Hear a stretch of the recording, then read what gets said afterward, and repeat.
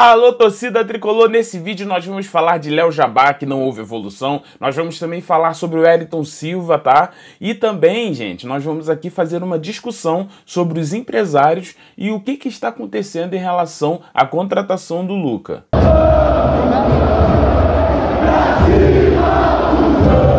Então, torcedor tricolor, seja bem-vindo, seja bem-vinda a mais um vídeo. Antes de nós começarmos aqui as notícias de hoje, nós vamos. Na realidade, tem notícia que nem é de hoje, né? Mas eu te peço, se inscreve nesse canal, meu amigo, deixa seu like, poxa.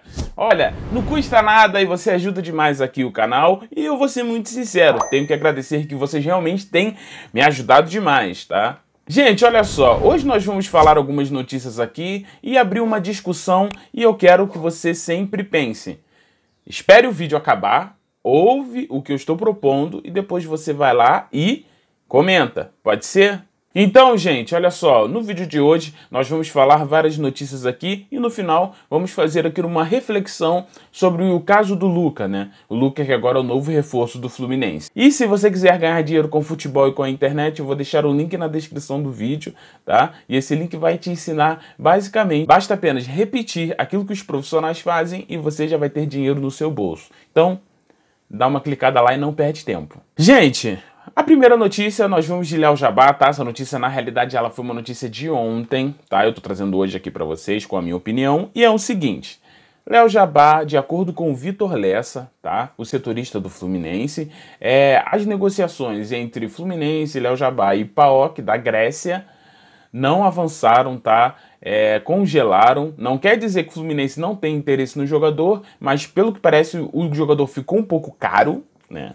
Aí mexeu no bolso e o Fluminense não tem a intenção de extrapolar os valores para ter o jogador no elenco. E eu concordo com isso aí. Se você, né, você, você não pode extrapolar para ter um jogador que na realidade a gente nem sabe como ele vai jogar, porque como já disse aqui, ele está vindo de uma lesão aí bem grave. Lembrando também que o Léo Jabá é, ele tem os mesmos empresários, né, os agentes, né, do elenco esportes, elenco com K, do Luca, mas no final a gente conversa sobre isso. Gente, falando agora sobre o Wellington Silva, tá? O Wellington Silva que estava fazendo um bom jogo contra o Curitiba, e isso é muito engraçado porque a gente sabe que o Wellington Silva só rendeu bem num jogo contra o São Paulo e mesmo assim a gente perdeu. Então, diante que, né?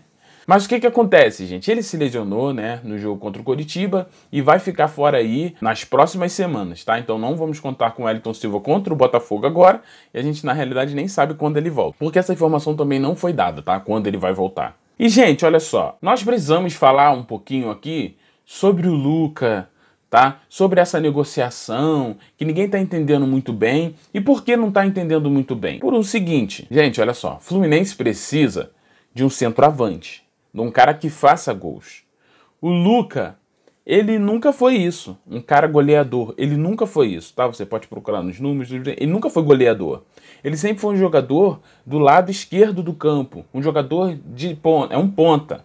Sempre foi isso. Só que a Netflu noticiou o seguinte: a empresa que gerencia esses jogadores como Luca, tá? Léo Jabá, que são todas dessa empresa chamada Elenco, né? Por isso, quando a gente fala que empresários são dessa empresa. A empresa que gerencia a carreira do Luca tem, na justiça, ações milionárias contra o Fluminense. No caso, na notícia vai dar que são, são cerca de cinco ações, tá? E essas cinco ações juntas resultam quase 3 milhões de dívida que o Fluminense tem com essa empresa. Essa empresa que gerencia os jogadores, tá bom? Lembra quando eu falei que eu tinha, assim, a sensação que o Fluminense estava nas mãos dos empresários? Por isso que traz esse tipo de jogador. Exemplo, Luca. Exemplo, Caio Paulista, que nunca fez como profissional. Outro exemplo, Egídio. São jogadores que a gente não entende, não entende, não entende.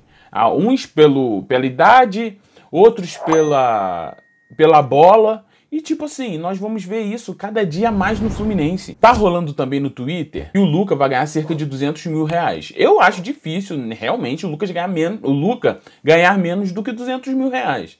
Mas a pergunta que eu quero fazer para você, será que vale a pena? Será que esses jogadores que estão com salário de 200 mil reais valem a pena?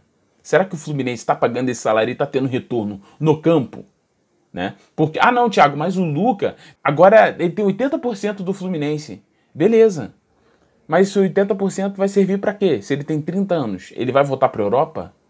Ele vai ele vai voltar para as Arábias, sendo que ele está vindo de lá. A gente vai pagar, se isso for verdade, a gente vai pagar 200 mil reais no salário de um jogador que estava vindo de um futebol fraco. E sendo que a gente está precisando de soluções para o ataque, a gente não está precisando de dúvida mais. A gente não está precisando de. Não, a gente está precisando de pessoas que vão entrar e vão resolver. Se você ganhar 200 mil, entrou e resolveu, beleza, beleza. Não, ele resolve, não posso nem falar. Mas será que diversos outros jogadores que estão ganhando isso, será que Gidio vale ganhar mais do que 200 mil reais? Por isso que eu acho que falta planejamento no Fluminense. O Fluminense falta planejamento. Se o Fluminense tivesse planejamento, essas coisas não aconteceriam. A gente ia conseguir jogador mais barato que podia render muito mais. Exemplo aqui, gente. Então por que não usa a base? Ah, não, mas vai queimar o Granada, vai queimar o John Kennedy. Não pode, não podem queimar etapas. Beleza, beleza, tá, legal. Mas vocês estão ligados que na Europa eles já estão trabalhando com os jogadores da base deles, né? Que eles estão fazendo de tudo para os jogadores mais cedo se tornarem jogadores profissionais e jogadores que tenham as suas responsabilidades.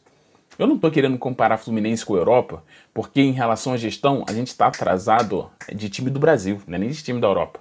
Porque a gente está atrasado. Essa é a realidade.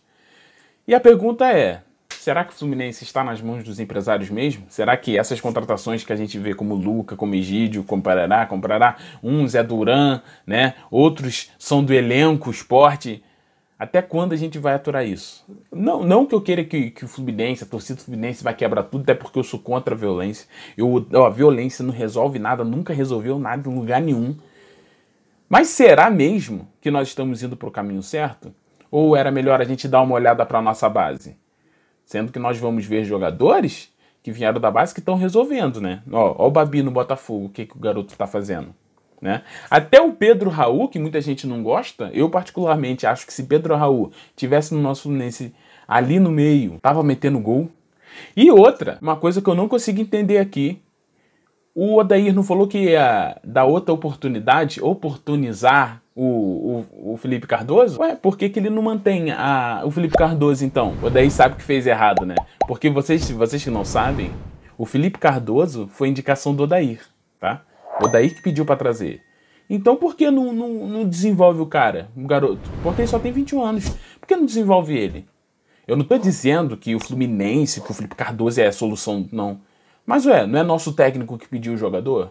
Por que agora ele não banca ele? Aí a gente vai começar a pagar 200 mil pro Luca. Aí para outro jogador, 300 mil. É claro que não vai ter dinheiro, vai ter uma hora que não vai ter dinheiro. Por quê? Porque nós não temos planejamento, tá tudo errado. Tá tudo errado, tá? Essa é a minha opinião. Eu deixei até essa opinião um pouco mais, uh, mais difícil pro final, porque nem todo mundo chega aqui, né, no final, você sabe disso. E você que chegou aqui no final, eu só vou te pedir para digitar eu cheguei, tá? Bota assim, eu cheguei, só para me saber que você chegou aqui no final. Já vi que existem muitos que são especiais que chegam aqui, então bota assim, eu cheguei e coloca a sua opinião, tá bom? Muito prazer, muito grande ter você aqui. É, estamos juntos, tá? Até o próximo vídeo. Não se esqueça então de se inscrever e deixar o seu like aqui no canal. A gente se vê por aí e meu flusão, vamos acordar, né? Pelo amor de Deus. Um abraço. Tchau.